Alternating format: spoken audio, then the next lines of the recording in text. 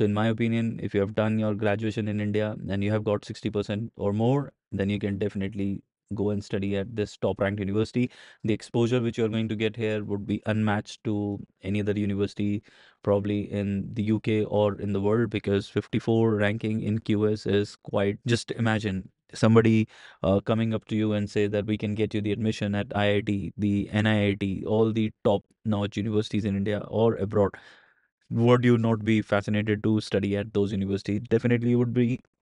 So you would need uh, 28 days old funds. Doesn't matter where those funds are coming from, but it has to be kept in one account for at least 28 days to apply for the visa.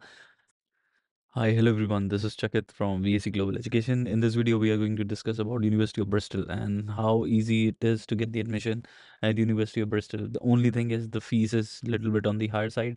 However, if you have got the good percentage and a good work experience background, then you can definitely avail these scholarships that would help you reduce the amount of the tuition fees. And in this video, we are going to cover each and everything, the information which is available with us so that we can help you out get the admission in the top ranked university like Bristol, which has a QS world ranking of 54 in the world.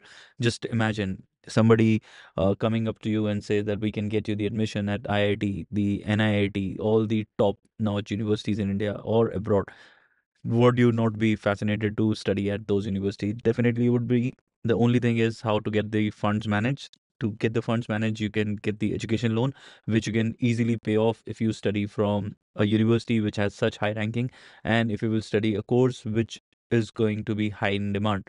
So if you are studying a high demand course from a, a well reputed university from around the world, then you have the highest chances of getting a good job. And the higher the ranking of the university, the higher the demand you would have in the market once you complete the course. So we are going to focus on University of Bristol in this video. So watch this video till the end so that you get the complete information. So now let's talk about the admission requirement for this university. How much percentage you should have. So you need to have at least 60% and above in your graduation in order to secure a seat in a top ranked university like Bristol. So 60% is not something which is too much to ask. It is something which you can easily get. And most of you, if you are watching this video and are planning to go to Bristol, then definitely you would have that much of percentage. Now, your uh, you need to have the maths requirement. Uh, if you're planning to do any technical course, then you need to have maths. So in this video, we are also going to discuss about the M M uh, MSc in financial technology with data science. MSc data science, we are going to uh, look at MSc scientific computer and data science, uh, health data science and economics with data science. So because data science is one hot course. So I've taken all these examples from the data science that you would have different specialization within data science and you would be able to get so many jobs. So in order to get the in order to get the admission in the data science faculty, then what all requirements are there? So I'll just read it out.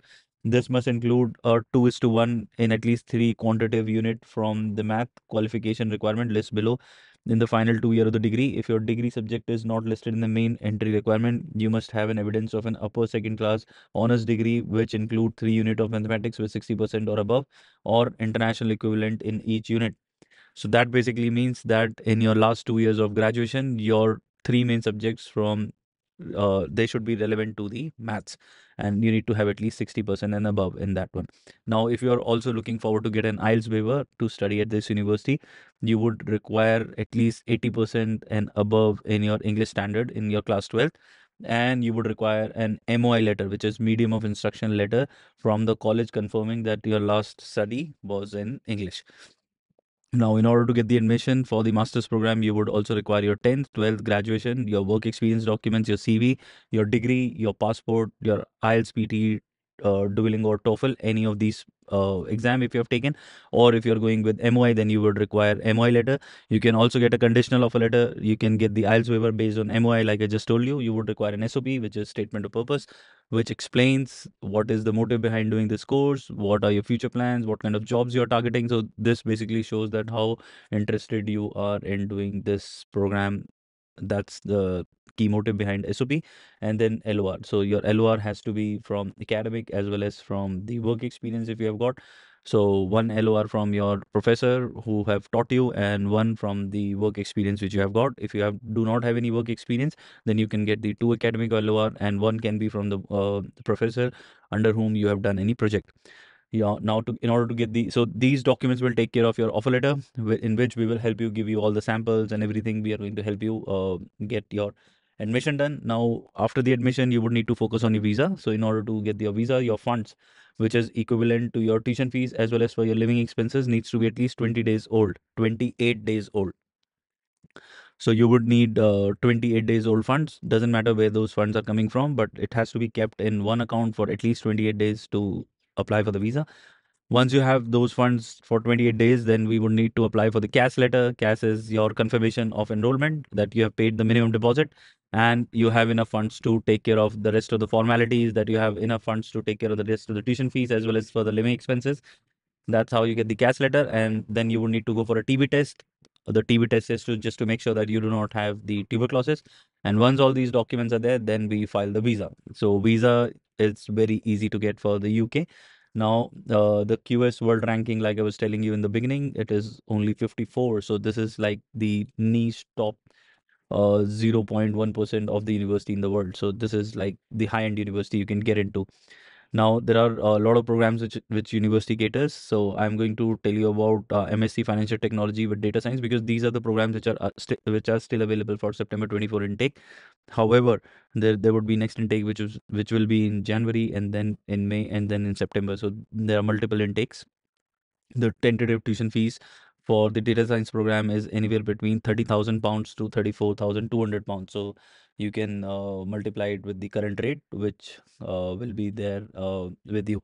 So overall, this is one university which you can target for September 24 and Jan 25 and for the coming intakes. And this would uh, be one of the most prestigious university you can study in so that you can get a good job once you complete your uh, masters as well as you can go for a bachelor's as well but the bachelor's the fees multiplied for three years would be way higher.